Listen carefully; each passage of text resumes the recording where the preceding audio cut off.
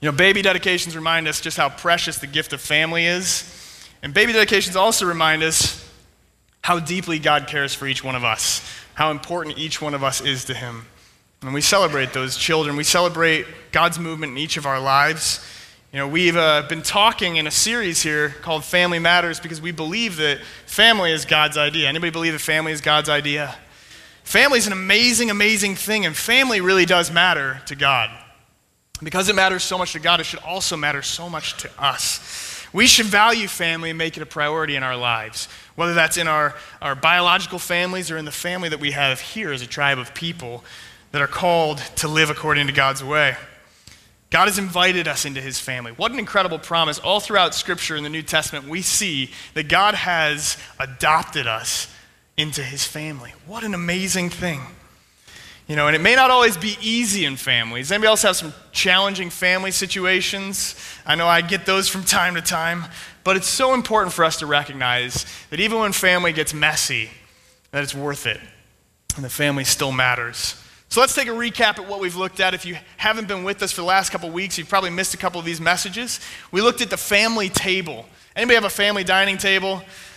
Does anybody actually use a family dining table anymore? That's the question we ask because so often the family table is neglected, forgotten, or not really celebrated the way it used to be in culture here. And we just looked at the fact that the table is a symbol of our need to connect with one another, to honor and respect one another, and to make time for one another. We also looked at milestones.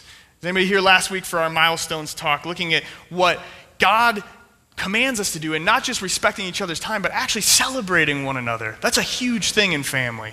Be able to celebrate one another's achievements and the things that God is doing in each other's lives.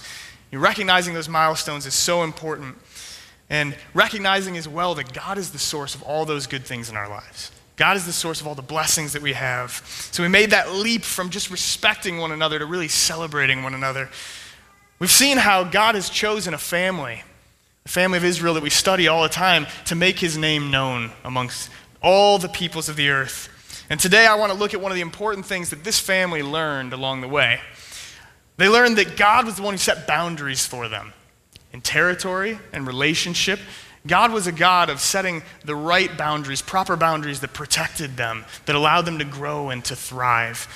They were a people set apart and given an incredible inheritance from God Himself. And I want to say to you today, as we're adopted into his family, that each and every one of us has an incredible inheritance in Christ. You know, Isaiah talked about it today. You know, Melissa talked about it today. Every last one of us has a destiny and a calling of who we are to be in Jesus Christ. And we believe that with all of our hearts. And I want to say, not only do we have a destiny, each and every one of us, but we also have a destiny together as the people of God, as his family here at Word of Grace. He has specific things he's called us to do. And we want to continually strive for what his vision is for this church. Amen? Would you turn with me to Acts 17, please? We're going to start with a pretty amazing story uh, in the book of Acts. I love this because the apostle uh, Paul doesn't just um, come with you know, conviction that is his own, but he's actually in a setting here in, in the middle of Athens. He stands up in the middle of Athens. He's talking to the Athenian uh, men and women, and he's saying to them, Look, I want to explain something to you. You see, the Athenians were always searching for answers. They were questioning cause and effect all the time. We, we've learned a lot in our culture from Greek culture.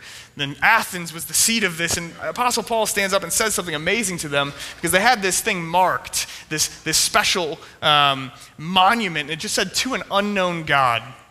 And Paul says, I got an idea. I'm going to talk to you guys. I'm going to tell you what that means. Because they were saying, we don't know who this God is, but we've, we've heard about this other God that we don't know. You know, they had a pantheon full of gods. And Paul said, Let me tell you about the one true God. And so we have this incredible story. And Paul says this to them, starting in verse 24, Acts 17 24. We're going to read through 28. He says to them, The God who made the world and everything in it is the Lord of heaven and earth, and doesn't live in temples built by hands. He's not served by human hands as if he needed anything, because he himself gives all men life and breath and everything else. From one man, he made every nation of men, that they should inhabit the whole earth. And catch this, he determined the times set for them, the exact places where they should live. God did this so that men would seek him and perhaps reach out for him and find him, though he is not far from each one of us. For in him we live and move and have our being. If some of your own poets have said, We are his offspring. This is an unbelievable story. Would you pray with me? Father God, we're thankful for your word. We're thankful for the fact that in you we live and move and have our being. We thank you, Lord, that you are the source of all good things in our lives. Thankful that we get to celebrate milestones like baby dedications together. We honor you today and we welcome you to come and be present in this place with us as we hear from your word. Holy Spirit, we need you.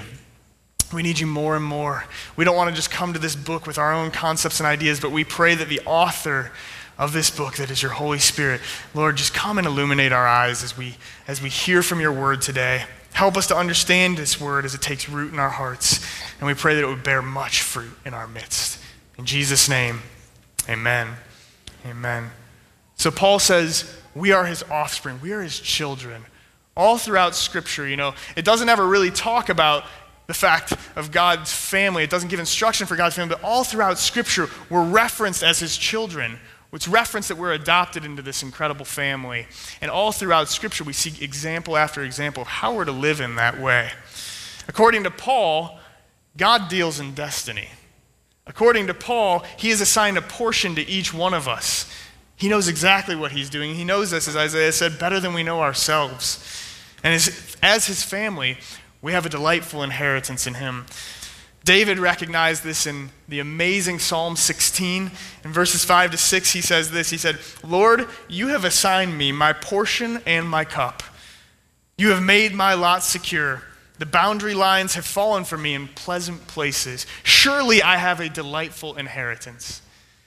In God, we have a delightful inheritance. Amen. Can anybody give thanks to the Lord today for a delightful inheritance in Him? We maybe not have, we maybe haven't fully realized that yet, but we know that He has incredible things for us, and we're laying hold of that promise.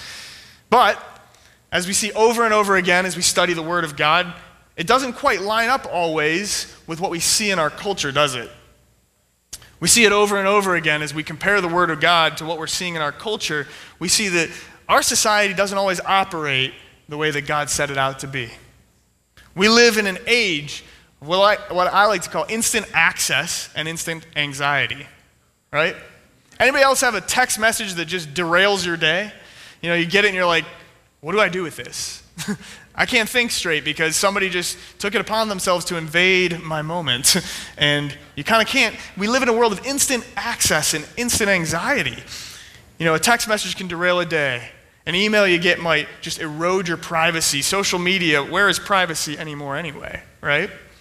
We live in a culture that doesn't respect boundaries. So, how do we find balance and health for our families? And we believe that family matters so much to God. How do we find balance and health and raise children that are strong in the Lord in this world that we live in of instant access and instant anxiety? I believe that the key to this is understanding what boundaries are supposed to be like in our lives. How do we set boundaries? I believe it's such an important thing. I want to give you a few key thoughts about boundaries. But first of all, has anybody ever had a family member who clearly knows nothing about boundaries? Anybody? Yeah, okay, good. Now, look at your neighbor if you're sitting in a row full of your family. I see Bob Baravecki is terrified as to what Becca's thinking back there. You know, maybe they never stop talking and they just overwhelm you nonstop with their thoughts, and you're almost like, I don't even have my own thoughts anymore. I just have yours, right? You know, because we all need that silence in our lives to be able to like understand what we're feeling. But sometimes we have family members who take it upon themselves to tell us exactly what they're feeling at any moment. Or maybe they're, they're one of those family members who's just a, a personal space invader. You know, they, they just, you, you can't get away from them. They just follow you. They don't say anything, but they're just there. You know, and presence is an important thing. But sometimes we have some people who can, their presence alone makes us kind of like, okay, what are you doing? right? You know, I've, I've had that in my life before. It's, and, and maybe they just sap up all of your time. You know, just someone who takes a lot of time.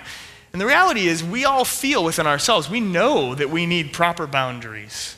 We know that we need, if you have any of these family members, you know exactly how important fa- family boundaries are. And I want to give you a few thoughts about boundaries. The first is this time is the most important boundary, the thing that we need to protect the most, because it's the thing that we can't make more of, right? We might be able to make more money to try and bring health into our families, but we can't make more time. You know, time is so important. And as we looked at when we were talking about the family table, it's important for us to be making time for our family in a healthy way. It's important for us to recognize that time is such a valuable resource to us, and we need to have boundaries on our time. Does anybody else say you're busy? Does anybody else, how many times have you said to somebody this week, uh, I'm, I'm so busy? you know, how many times have you, somebody asked you how you're doing and you responded to them and said, oh, I'm just busy? I feel like me, you've, you've done that all week long. Because we're busy people. We've never had so many things drawing on our time as we do at this time in history. So many things. And I got to be honest, today I'm preaching to myself with a lot of these boundaries. So if you find yourself incredibly busy, if you find yourself unable to make time for things that matter to you, you're in good company today. Eugene Peterson once said it like this He said, Busyness is a betrayal of the ministry.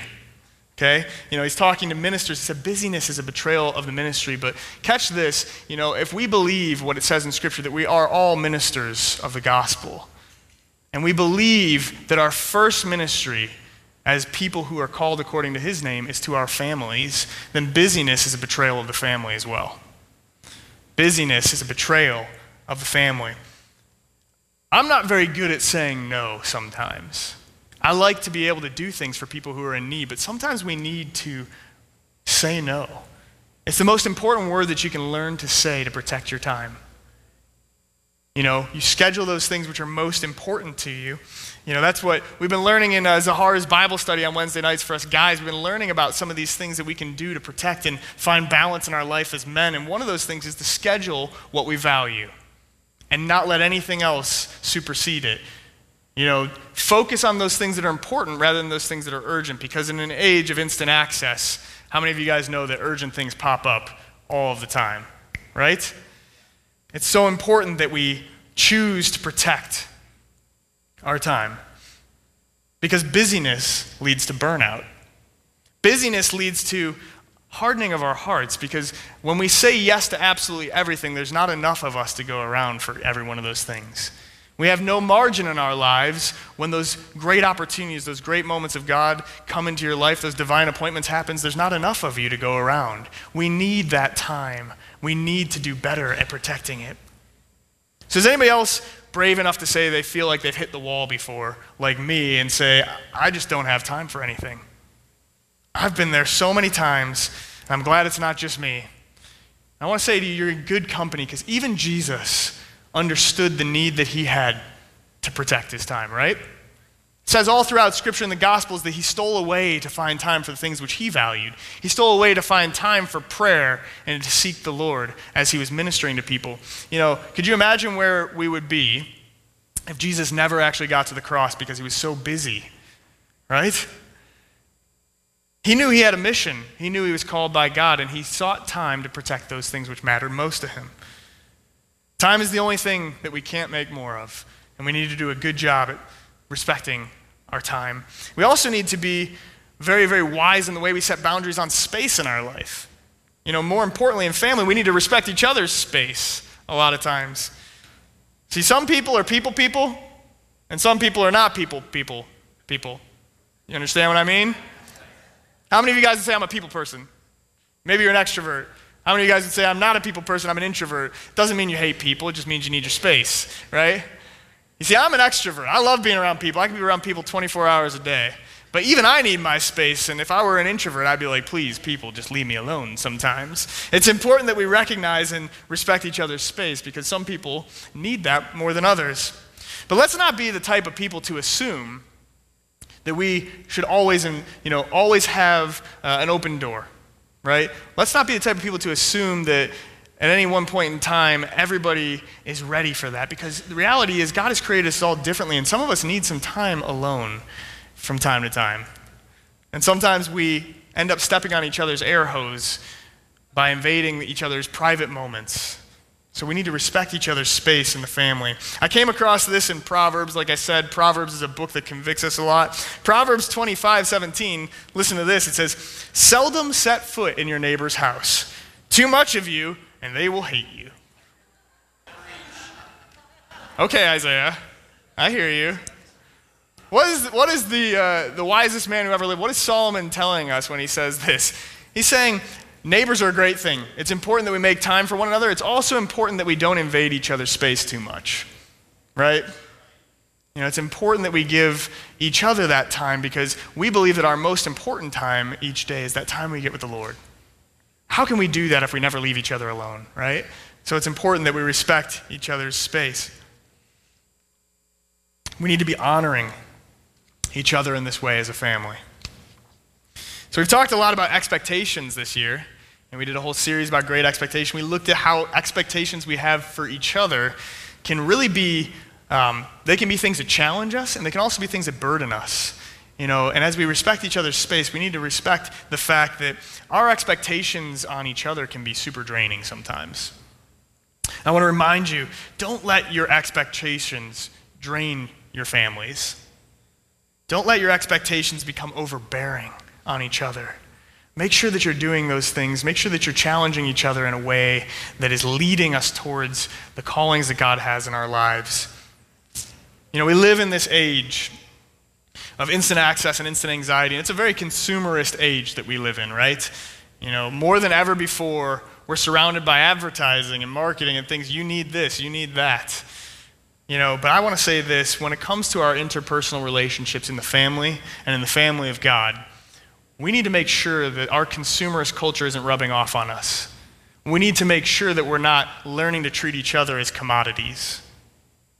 Because a lot of times it's tempting. I need something. I know somebody can fix it for me. I don't know what's happening in their life right now. I don't know what space they might need, but I need something. And since it's about me, I'm going to make it about me in this moment. That's how we burn each other out. That's not respecting each other's time or our own. That's not respecting each other's space. But that's how the world operates. Why do you think we all say all the time, oh, I'm just so busy? Right? We need better boundaries on the time and space for our families. I want to remind you today even good things in our life without boundaries can turn into disasters, right? You know, we've looked at this incredible metaphor in Scripture before of the river, the river of life, and how it flows, and everywhere it flows, it brings life. But I want to tell you, you know, as the church, as a body, we need to be in the river. But what happens when a river, what happens when a storm comes? It floods. What happens when a river overflows its boundaries, oversteps its boundaries? It can be quite a dangerous ordeal. You know, these things that are meant to bring life and do, they can also, when they're not checked, when they're not kept in proper boundaries, they can bring a whole lot of headache and a whole lot of pain. So, boundaries are so important. And I got to be honest, I don't think any of you guys would disagree with that. Not a single one of you do I think would disagree with that statement. Boundaries are so important. But the reality is this that's not the full picture. More important than just seeing the fact that we need boundaries in our life is the question that we all need to answer of who is setting the boundaries in your life and mine. Who are we allowing to set the boundaries? Who's dictating where the lines fall? See, Paul said in Acts 17 that it is in him that we live and we move and we have our being. So let me ask you, as we've been talking about family members that maybe invade, who is setting the boundaries for you? Is it something that you're reactive or proactive with? You know, are you reacting, oh, you know, somebody just, they sat in my chair on Sunday, that's unacceptable, I'm going to make some boundary, I'm going to make some rules about that. are we reacting to everything that upsets us, and that's the way we're setting our boundaries? Is it us that's setting our boundaries? Maybe, you know, you're someone who loves just you know listening to the latest self-help guru that's out there in culture who's saying this is the best way to live your life. This is how you schedule your time those kind of things. Maybe you're listening to somebody like that as you're setting your boundaries. Maybe uh, you know new year's time comes around and you're like hey this year i'm going to be better. I'm going to be better at this and you just okay i'll set my boundaries now. You know maybe we need to consider who we're allowing to set the boundaries. Maybe you're actually just hoping that a pastor will come along and set boundaries for you want to tell you today that the only person who can set your boundary is God on your life. As we consider how he interacts with his chosen people, his family, we see all throughout Scripture that he is setting the boundaries for them and showing them the way to move in him.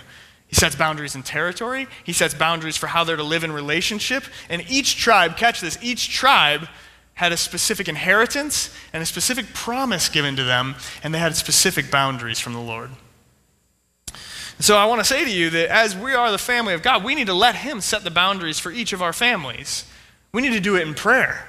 It can't be something where we're just arbitrarily deciding based on the events of the day or what our culture is telling us. No, we have to be so intentional with this. And we need to be intentional about seeking His face for the boundaries that we're setting.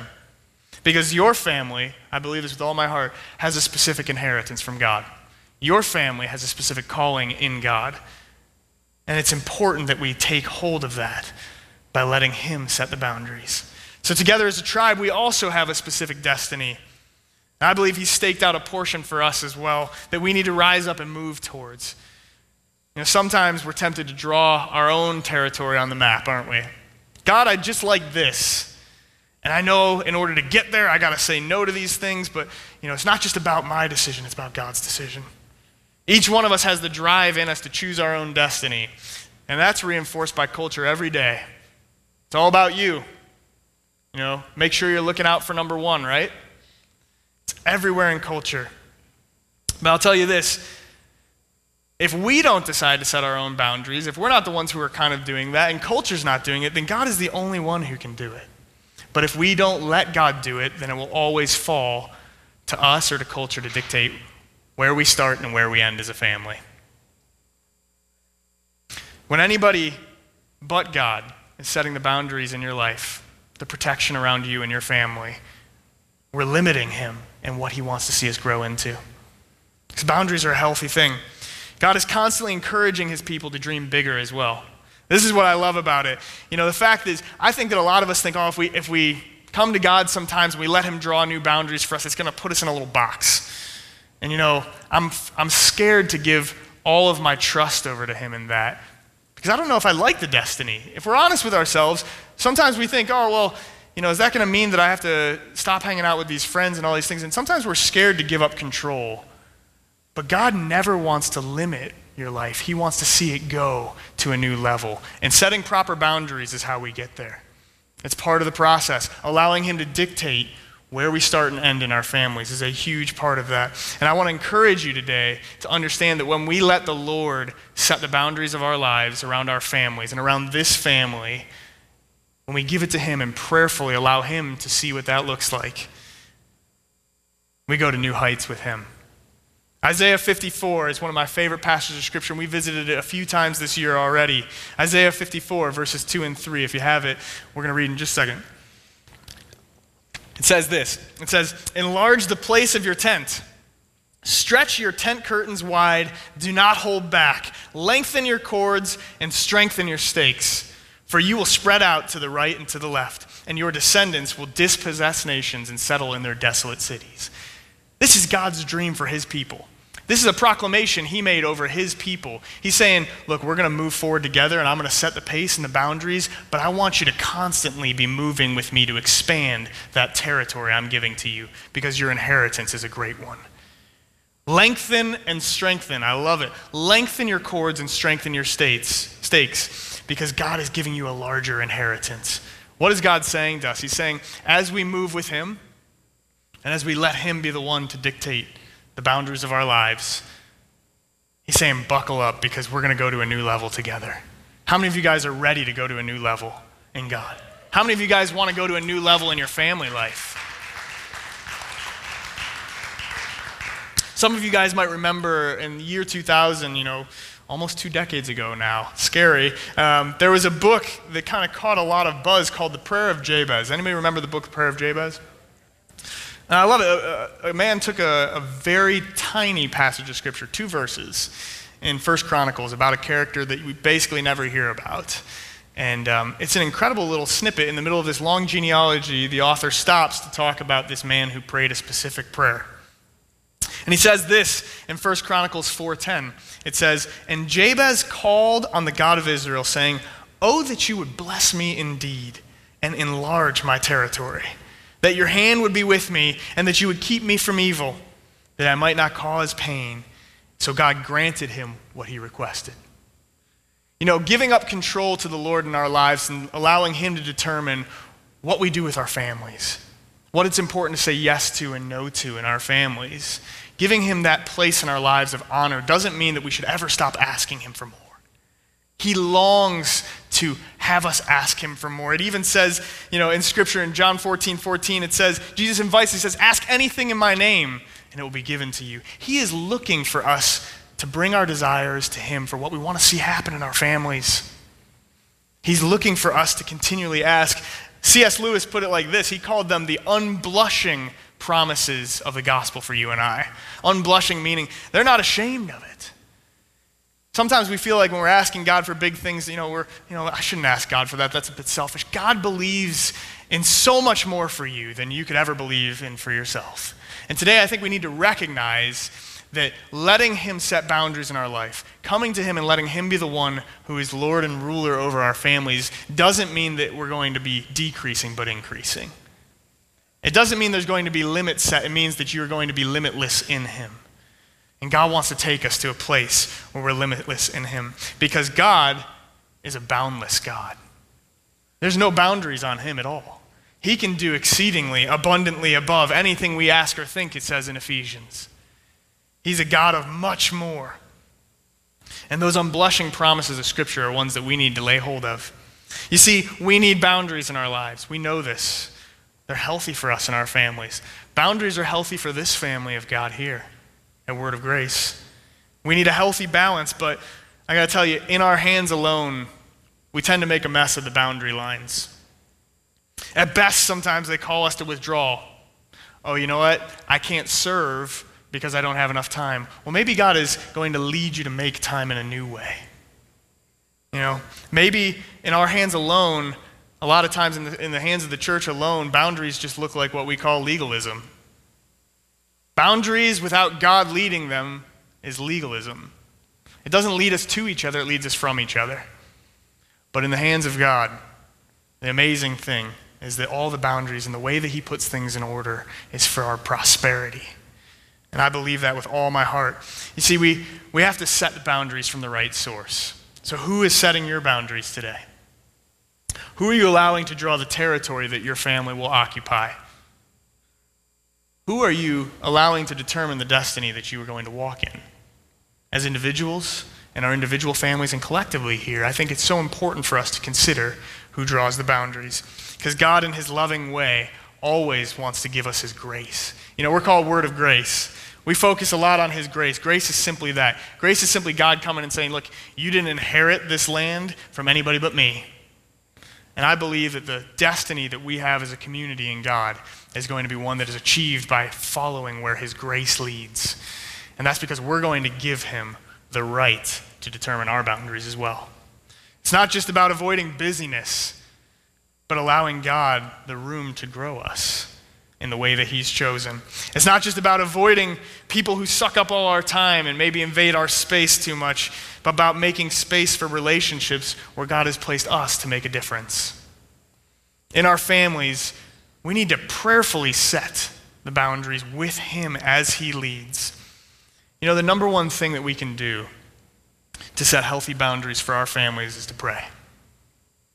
We need to pray more. We need to trust Him. We need to invite Him more to lead us in that. And the number one thing that we can do, I love it. We gave each one of these couples a book called Praying Circles Around Your Children.